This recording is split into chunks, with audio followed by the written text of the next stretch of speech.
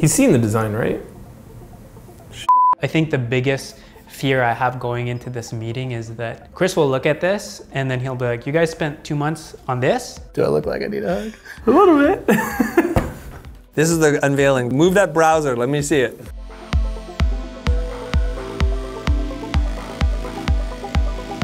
Uh oh. Our final episode starts now. Welcome to Design from Scratch. Hey, so if you're new here, welcome to the Futur. We are a group of creative professionals on a mission to teach you the value of design, and specifically, how to bridge the gap between your creativity and making cash money. But we're more than that. The Futur is about changing the way you learn. Our goal is to teach 1 billion people, and it all hinges on how many compliments you people give me in the comments on this video. Totally serious. Welcome back, my friends. In the event you forgot who I am, my name is Greg Gunn, and also, how dare you? Now, this is the final episode in the digital saga that is the redesign of thefutur.com. We are on the last one. Can you even believe it? I can. Hmm. I'm totally okay with that too. You'll see why later. If you haven't watched the first two episodes, a lot of what you're about to see probably won't make sense. So do yourself a favor and go watch those two episodes right now. You'll find a link to both of them in the description right down there. You know what else you'll find in the description? A link to our sponsor, Webflow. They're an incredible website building platform and, as it turns out, what we're using to redesign our own site. Stick around and you'll see how that works. Okay, now where were we? In episode 1, we laid out a crystal clear strategy for the site. Mostly. Because it sounds like we're just doing more of the same. It's like we're just going to reskin this or rename it, and is that going to be effective to help address the, the pain point that we've identified is why we're kind of retooling everything in the first place? And in episode 2, our friend Jamie helped translate that vision into visual form. You know, we, we've had round one of design. What was your gut reaction to I hated it. Oh my God, okay. My feedback at this point would be start over from the ground up. Ouch, ouch. So here we are, about to start development, full up making it for realsies on Monday, if not Friday. Friday's not a good day to start that. what could possibly go wrong? We're gonna get the design file from Jamie, and me and Greg will start developing using Webflow. Maybe I'm just too positive right now, but I think a month will be a good place that we will be like kind of like done with initial development stage.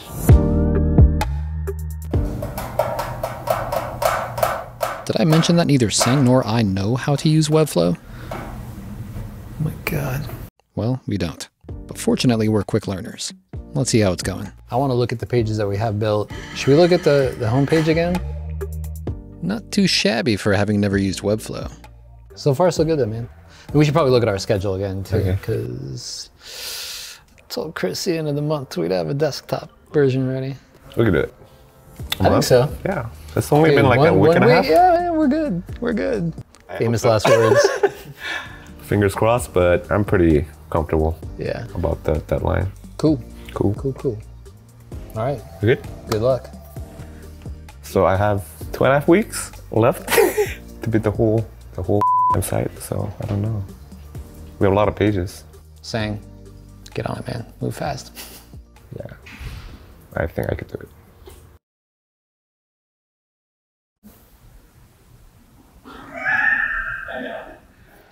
Coincidentally, while I'm telling you this right now, if you can hear that crazy cackling in the background from the kitchen, that's Sang, clearly working on the website.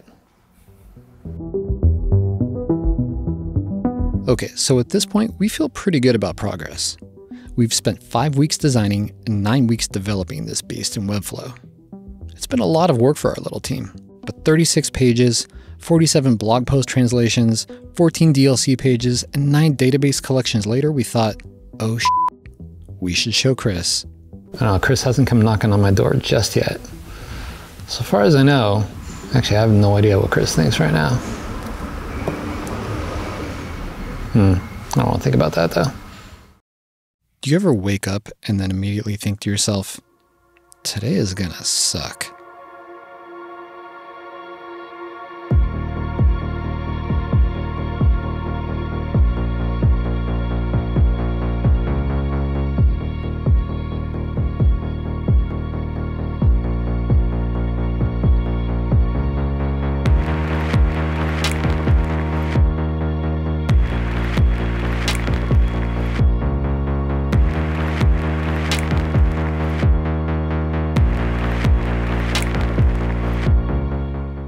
Want to be like, oh, I'm worried because I'm not re- prepared well for this one. It's fine. I'm nervous too, but I don't want to be like, ah, like I don't want to be nail biting. Chris is picky, man.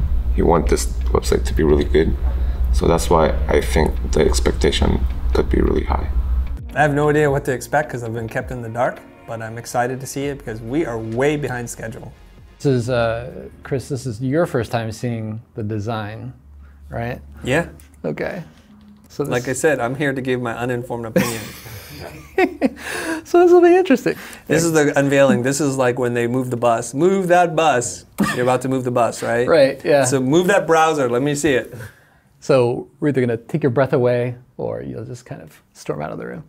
Just before we, we take a look at stuff, uh, where we're at in, in status wise with the site is almost everything has been laid out, designed, and built in, in Webflow. Please consider this when we're looking at the site and the lens through which you know you're judging. Pause, please. Okay, quick presentation tip for you here. Resist the urge to share something with a client without any context. And if you're looking for feedback, let the person know what you are looking for feedback about and give them some structure for how to respond. You will thank me later. Okay, unpause. Okay, so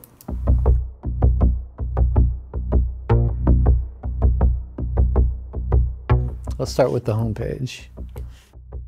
Well, Chris looks happy. I don't know if you can tell it in the footage, but I held my breath for about 42 hours in that meeting. At least that's what it felt like. Now, on the one hand, I'm proud of what we've accomplished. We actually did do a lot of work. But on the other hand, what the hell is going to happen?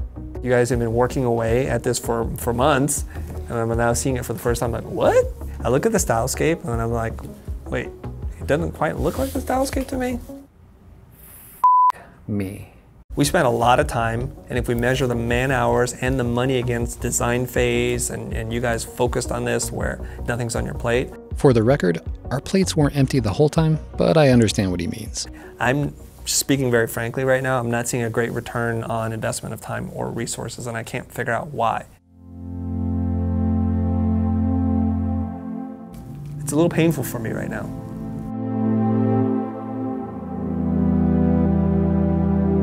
Guys have thoughts on that? 100% agree. Okay. I think everything that I thought Chris was going to say and respond to, he did exactly what I thought he was going to do. When the team showed me the new landing page, I just didn't even think it looked like anything that we talked about. And the page that mattered the most to me wasn't even there. It didn't have the design, it didn't have the messaging, it didn't have the, the core components. So I was just kind of like, what have you guys been doing? Do you need a hug?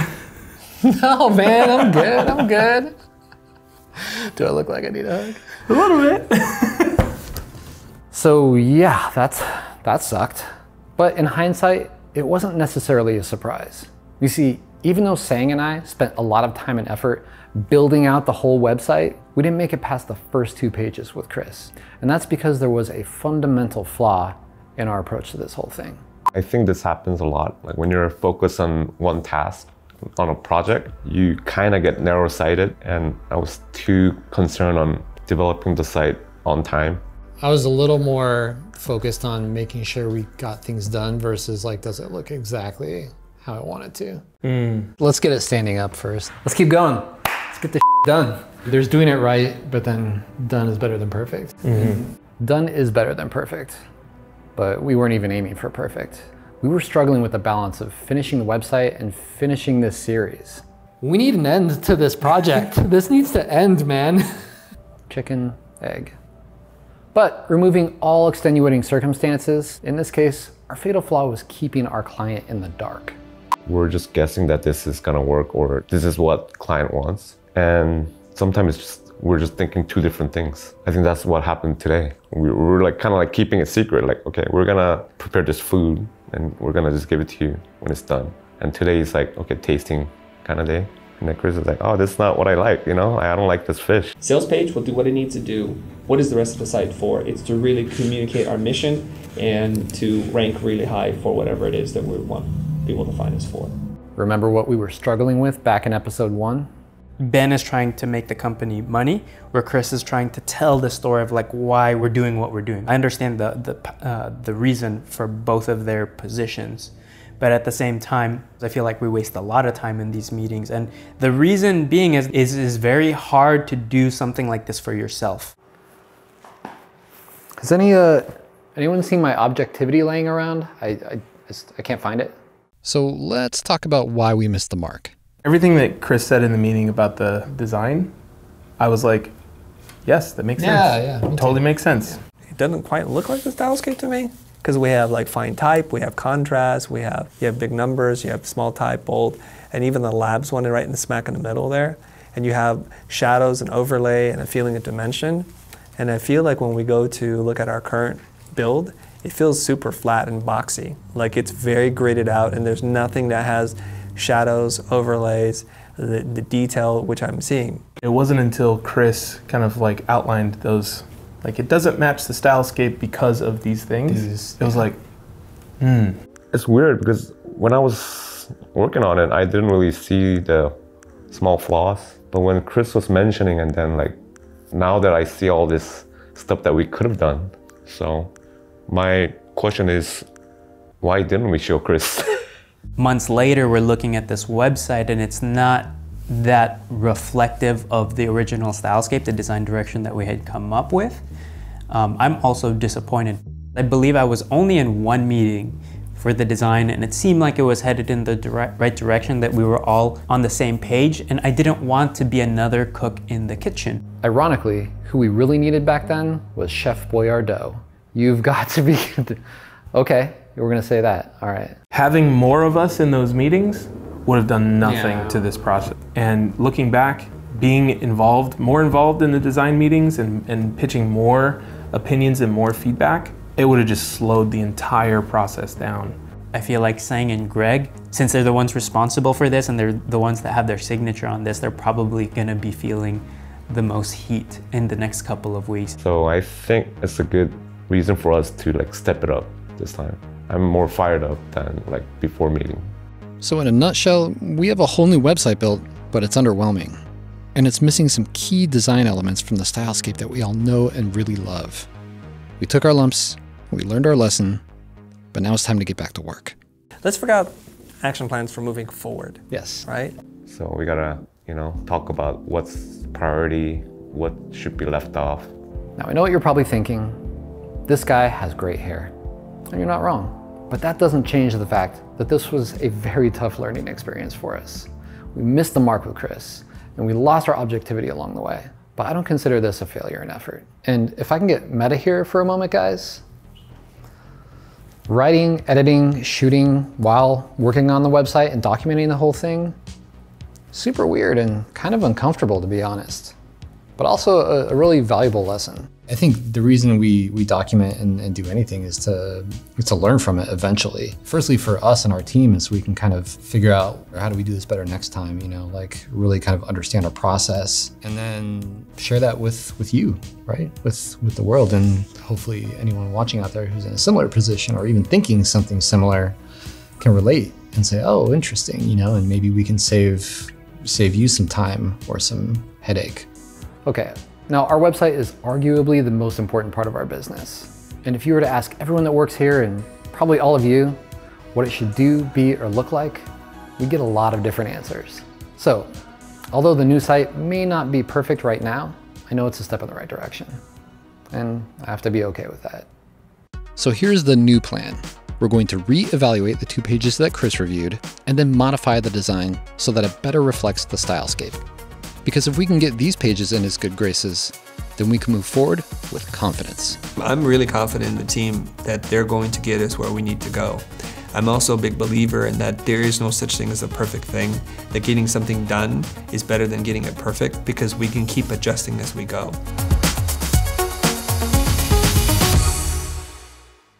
So now you're gonna see the new site for the first time.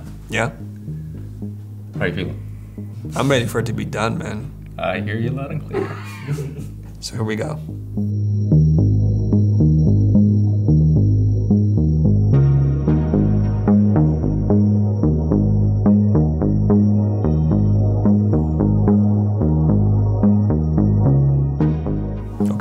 I feel like the design assets are there. At least it feels sophisticated enough and reflects the brand and what it is that we want to do. Overall, I think the design is very light open and it does reflect some of the stylescapes that Jamie had designed a long time ago. So I think we made a lot of progress here. This is a big improvement from what I saw previously. And that's good because we're launching. The Futur is Chris's life's work, I, I guess you could say. To have him, you know, at least be happy with this MVP version of the website we put up, that, that thrilled me. I, I think that's that's the goal. I want to make sure he feels really good and confident when he goes out into the world and is spreading the good the good word about the Futur.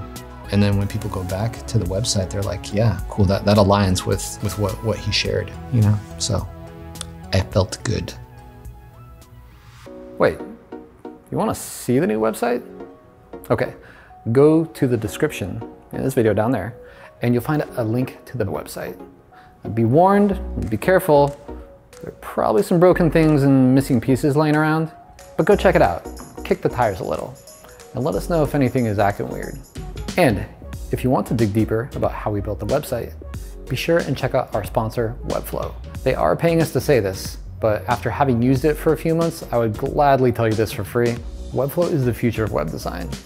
Crazy powerful, you can customize anything, it's so much fun to work with. I encourage you to give it a shot. All right, my friends, this is it. Hmm, What can I say other than it's, it's been real? Um, thank you so much for joining us on this roller coaster ride. Uh, I hope you learned something, and uh, especially from the mistakes that we made along the way. And uh, I hope you had a good time while, while you're doing it. So uh, thanks again, and uh, I'll see you around the internet. Later. And we'll do our, our QC when you're back in, in September. I told Greg we're just gonna need to go to a hotel and sit there in a hot tub with the laptop for eight hours. If you guys want to do on your own time, that's fine by me, guys. Excuse to be in a hot tub. Right there. Yeah, you set that one up for yourself. okay, we good? Yeah. Okay, fantastic. Thank It's you. getting warm in here. Let's- let's, uh, Yeah. Okay. All right, thanks, All right. Thanks. All right. Cutting. Cut. Cut.